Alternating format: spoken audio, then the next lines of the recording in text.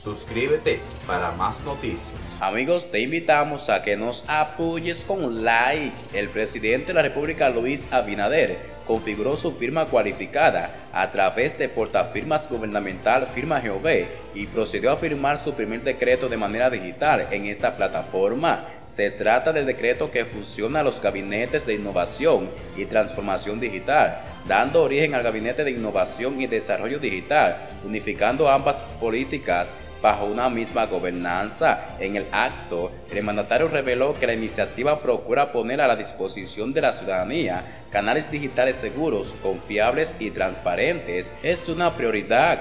Gracias amigos por seguir esta noticia. Recuerda suscribirte, comparte este video. Nos veremos en una próxima noticia. Muchas gracias amigos.